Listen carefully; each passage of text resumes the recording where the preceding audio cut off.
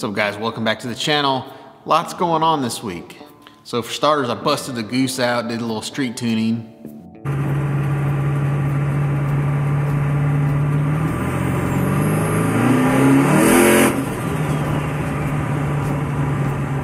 Getting it squared away, ready for the dyno. That should happen pretty soon, I think. Uh, there's some issues with it I had to fix, and I've been kind of putting them off. So pulled it out, showed it some love, got it out on the street around it for a little bit.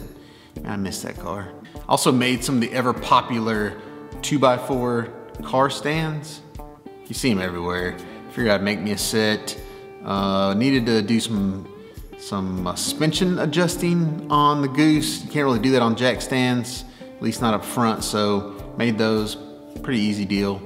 Also reorganized the entire shop, moved white bread. As you can see, white bread's not here. I got white bread tucked over there for now just trying to make room, trying to reevaluate my workspace and how much I have to walk and all that kind of stuff. Anyway, that's not why you're here. Got a lot done on the Bibster this week, so pulled that rear section off, got everything TIG welded up.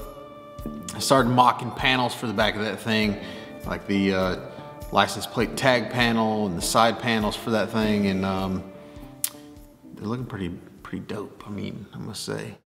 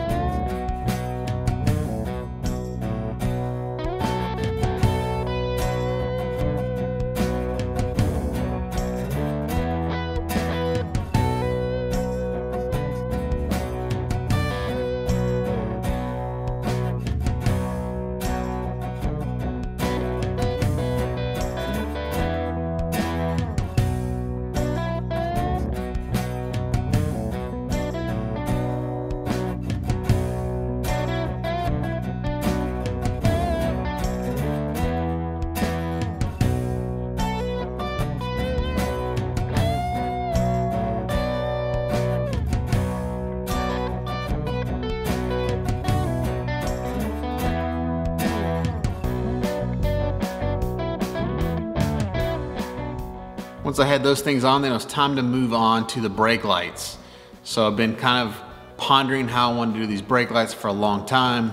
Ended up just making some buckets, mounting those lights. Yeah, well, let me show you.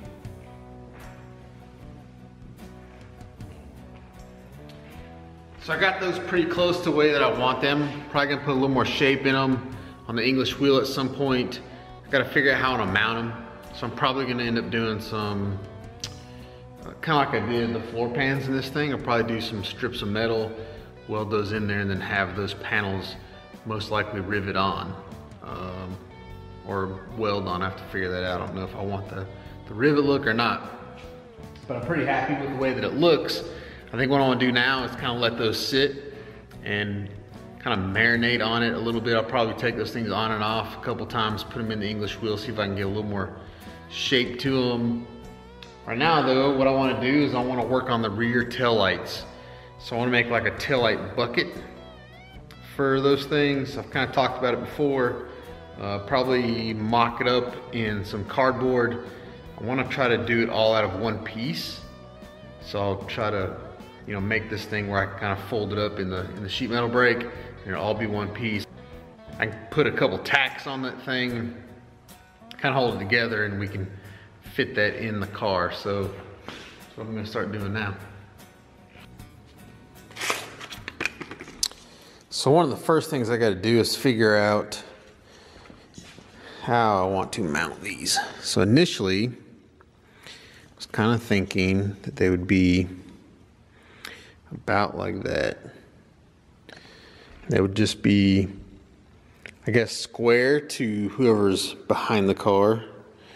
But now that I look at it, I'm thinking about maybe giving it just a little bit of an angle just enough to kind of match this rear bumper. I think it might kind of display the light a little bit better out the sides. So yeah, I think that's what I'm gonna do. Let's see what we got here. So if I'm gonna hold that angle there.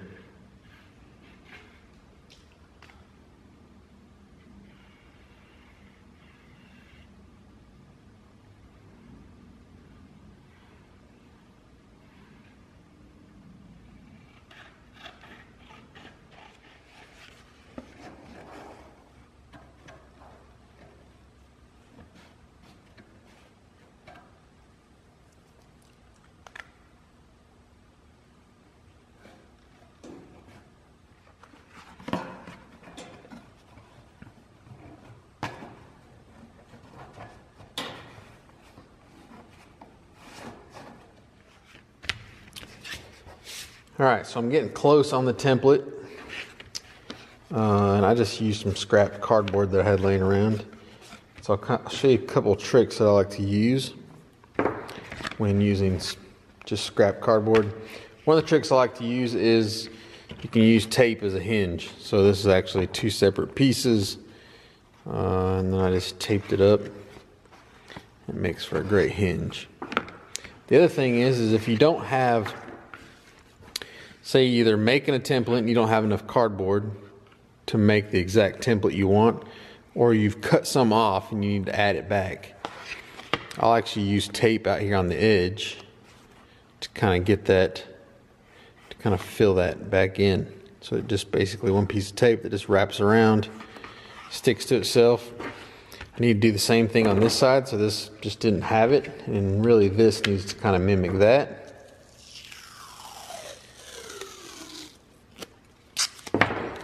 So let's take some tape. Let's see here, what's the best way to do this?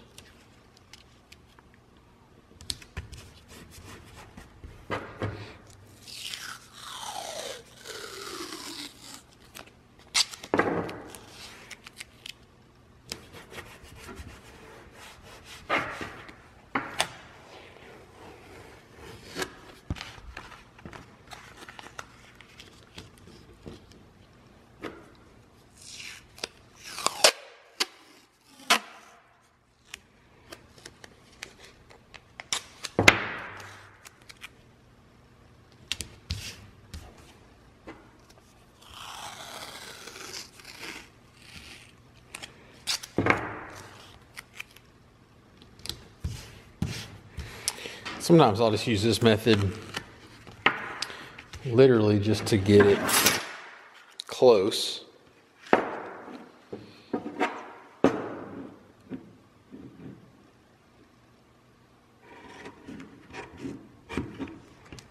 So I can then like re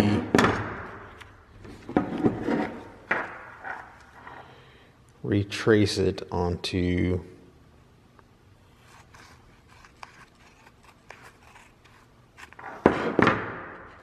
another piece of cardboard.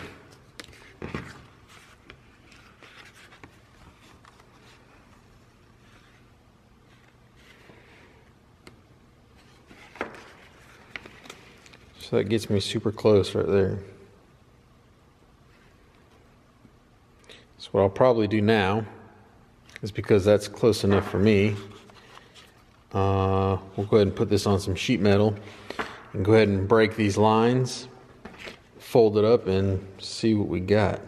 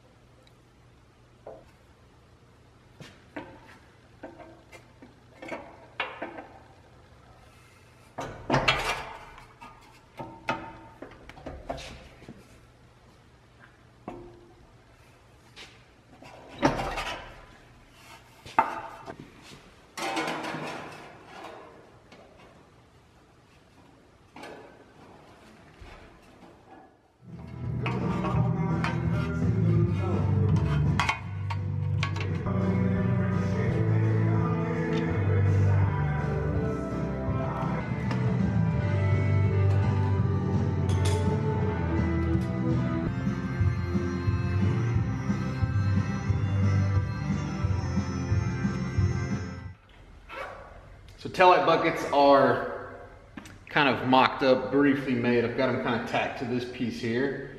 Um, I can still kind of take those in and out as needed. And I'll probably make them permanently attached to this. So the idea right now is to, um,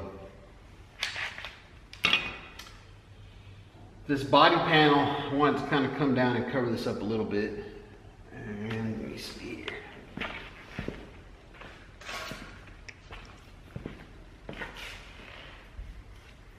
I posted some pictures on, I think Instagram, kind of what I had in mind. And it's something along the lines of that. So with the tail lights lit, it kind of makes this bottom section glow red. Can you see that? Yeah. Kind of makes that bottom section glow red. The sides are kind of glowing red, but standing above it, you don't see a tail light. You just see metal, which is what I want. You don't really see that tail light till you get, you know, a couple feet back. So that's the idea. I want to kind of bring this panel down, shape it kind of around this stuff. And then what I'll do is I'll make another piece that kind of attaches to this body panel that comes down over here where it looks kind of full. Maybe put a rounded edge on this thing over here. So that's the idea. Got some ram board already cut to width. So I'm gonna start kind of chopping on this thing and see what I come up with.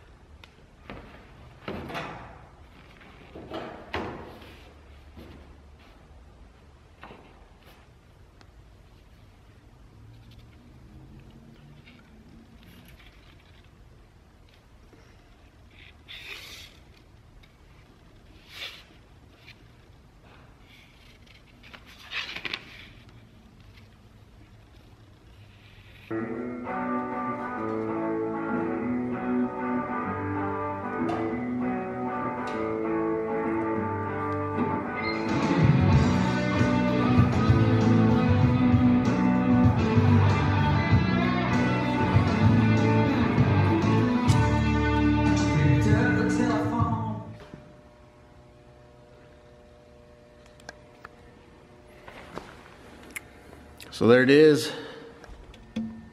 Got the buckets made. So it's got a steel bucket in there for the tail lights. Got the lights themselves mounted. And then as you can see, mocked up the sheet metal. Pretty happy with the way it turned out. Kind of goes right around that spring. Now what I may do is I may actually make a piece of sheet metal that comes off of this that comes down maybe stops right in there where it kind of looks like it's a full piece, but one piece will be attached to the body. The other piece will be, you know, this piece will be part of the tail section. Or maybe just leave it the way it is. You can kind of get down there and see all the suspension, which is pretty cool. I'm happy with how it turned out. It's uh, about what I envisioned it being where you're kind of on top of it, you don't really see much. You just kind of see those lights glowing, glowing out from underneath it, but you know, as you get back, the light shows itself. And it's obviously safe. I mean, I'm probably, what, eight foot from it now, and you can see the light just perfect. I'm eight foot from it now, and this is like five foot, the camera's at five foot height. So, won't be any issues with visibility. and that's on brake mode. I may actually do a third brake light because the that's that's the brakes there and then it's a little bit dimmer when you do just the running lights themselves. You can see the tag, the tag section. It's all recessed in there. Obviously these are just temporarily on there. I actually tacked it just so I wouldn't have to have tape on it. but most likely break these loose put a little more shape in it, like I said. And I'm not sure if I'm just gonna like tack these on there or if I'm gonna put some tabs in there and then rivet them on.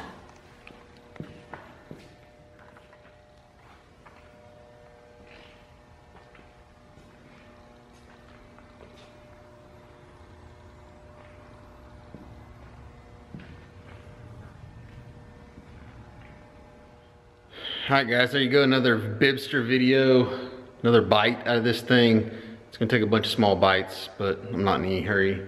It's uh, more of a passion project for me than like a hurry up and get done. So, brake lights, tail sections coming together.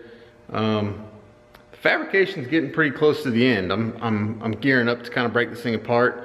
Already buying motor stuff. Uh, I'm gonna put a girdle and stuff in that motor, I think, and just gearing up to go ahead and re go through that engine and start getting everything ready for final assembly. I, I got a couple little things I need to figure out uh, fabrication wise, but once those are done, I will be good to go. So anyway, as always, thank you for joining me. see you guys next week. Go do work, son.